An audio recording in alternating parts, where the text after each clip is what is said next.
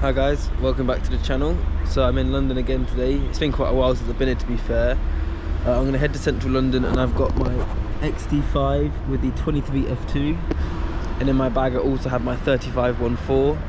So I'm gonna head to central London, shut the GoPro on my chest and we'll see how it goes. Let's get into it.